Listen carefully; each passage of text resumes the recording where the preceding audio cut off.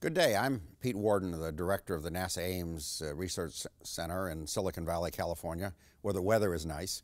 I apologize for not being with you today, but uh, I'd like to cover a few of the uh, thoughts that uh, we have on uh, uh, infrastructure that we might put on the moon and Mars, and I'm going to add a few things at the end about places beyond the moon and Mars. but let me start by just, you know, telling you a little bit about what I'm going to tell you. Let me talk a little bit about history. You know, I, I'm an old guy. Uh, I grew up in the, in the 1950s and 60s, and I kind of call this the aerospace era. The, uh, you know, we did a lot of cool things. We developed rockets, did space travel. We've been to virtually every planet in the solar system, and we're now even going to uh, dwarf planets that used to be called planets. Uh, but I really want to make a point uh, that uh, uh, this is a new era that I call this century the bio century. And I put the picture of this gentleman on here for a couple reasons. This is J. Craig Venter. Uh, first of all, his brother works for me. Uh, but more importantly, uh, uh Dr. Venter is, is kind of the leader of, uh, of bioengineering. Not only reading DNA, I mean, he uh, did the first uh, full human genome of, of himself, by the way, uh, but he's doing a lot of work on writing DNA. And I think this is really uh, one of the messages I want to take you to take away is that that biotech may be more important than aerospace uh, as we move out into the solar system. Now, of course, most of the focus is on this object. Uh, for those of you that aren't astronomy experts, it's Mars. but you know, throughout you know, my lifetime and probably everybody's lifetime, we've talked about Mars as a likely place for humans to uh, eventually live. Uh, so there's lots of concepts and thoughts about large-scale Mars settlement. Uh, indeed, you know, a good percentage of science fiction talks about humans living on Mars in, in large numbers. Well, I'd like to talk a, a little bit about some of the uh, of the issues there.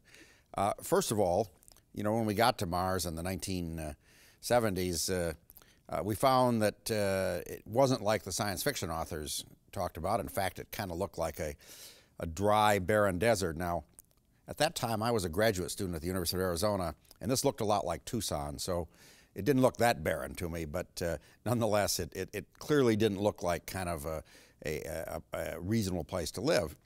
Now, since then, we've discovered a lot of things. Uh, first of all, we've discovered that that Mars has a lot of volatiles, particularly water. In fact, there's even places it snows. Uh, we see glaciers.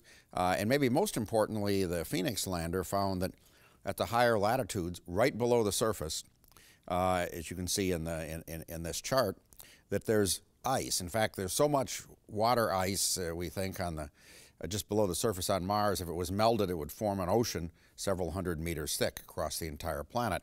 So we're finding that the planet isn't dry. In fact, it's, uh, it's quite wet.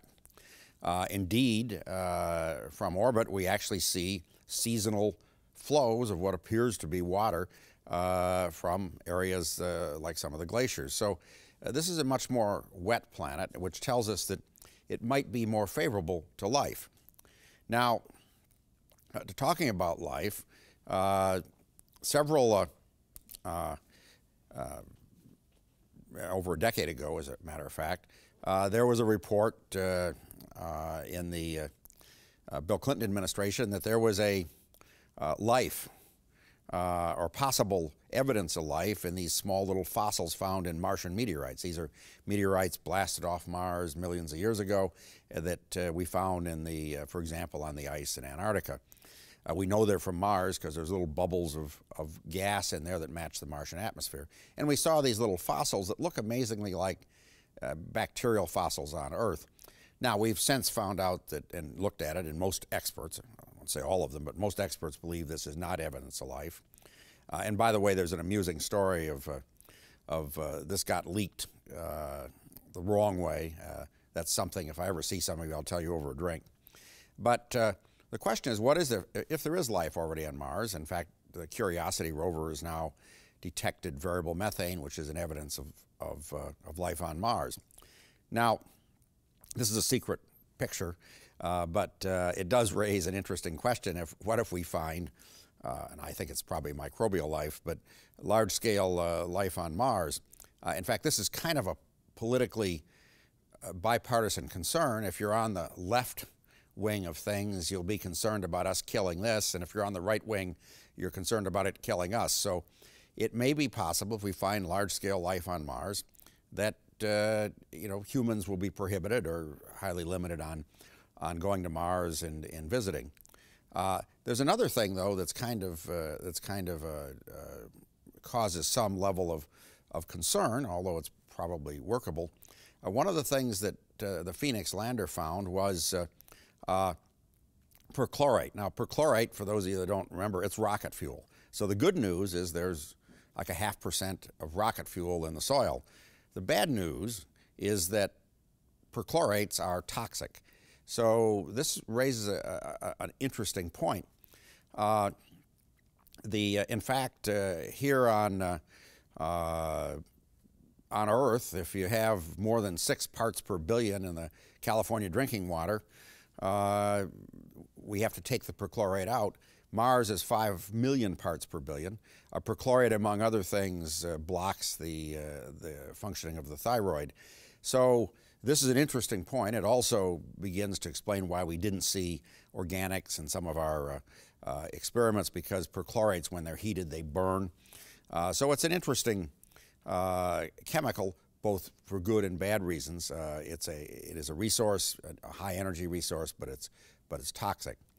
Uh, we're finding that chlorine is widespread on Mars, probably perchlorates. Uh, we even see that it's uh, inside some of the sedimentary rocks found by uh, Curiosity. Uh, so, in some sense, uh, Mars may end up being banned for easy human habitation. so, I'm going to talk a little bit about technologies that could fix some of this, but let's move to another object. Again, for those of you that aren't astronomy experts, this is the moon, or those of you that never look up at night. Uh, but uh, the moon is very interesting.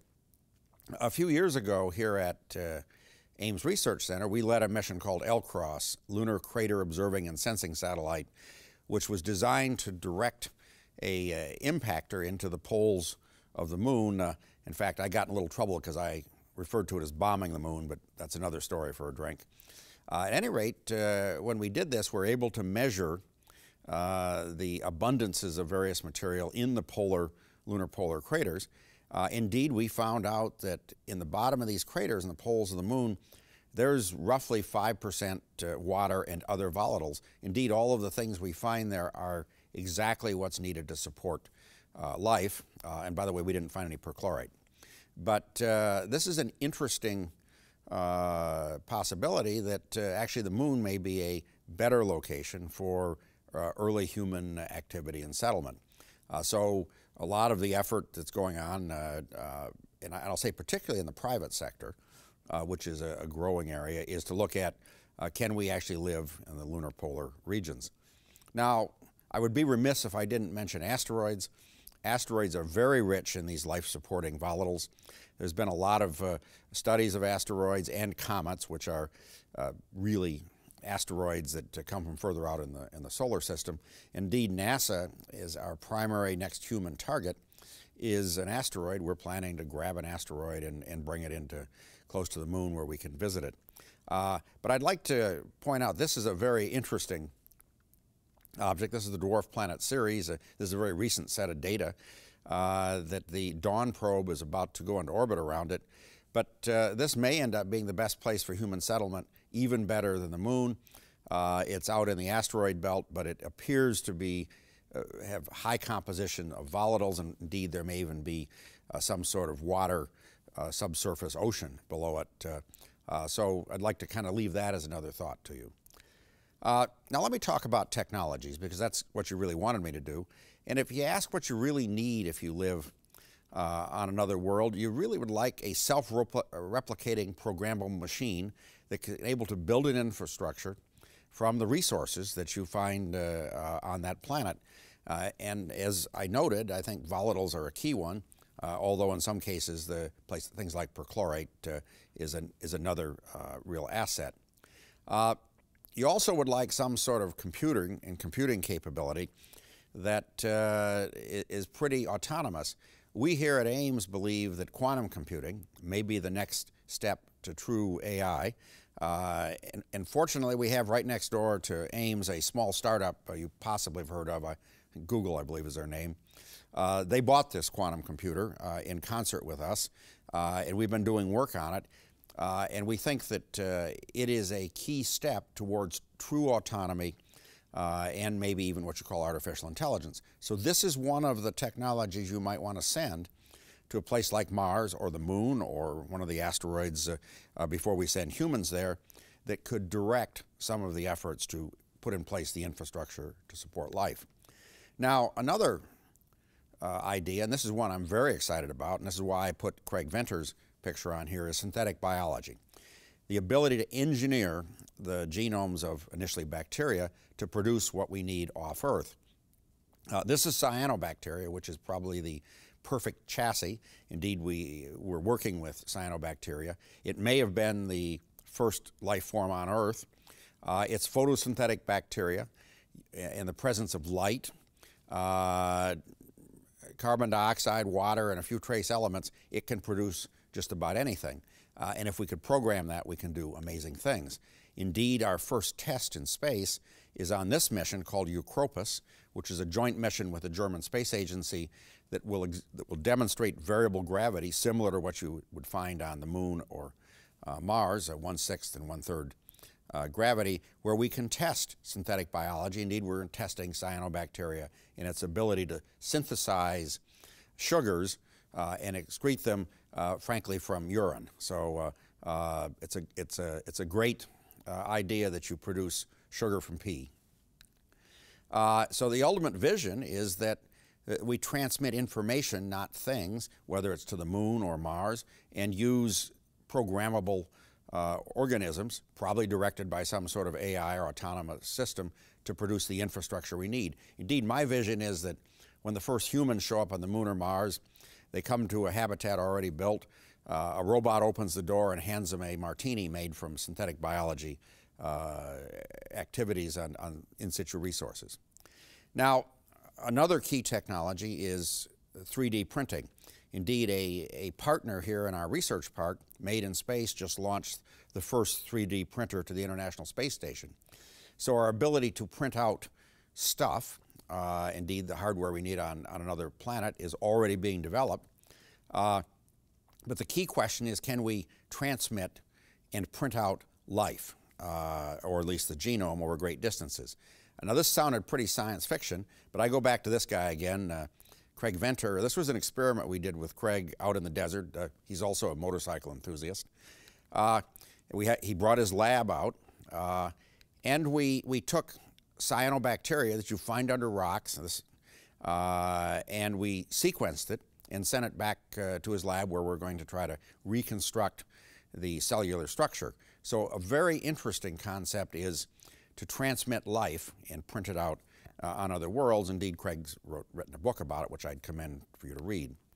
Uh, and other companies are now looking at 3D printers for living things. Uh, this is a company called Cambrian uh, Genomics. really interesting stuff.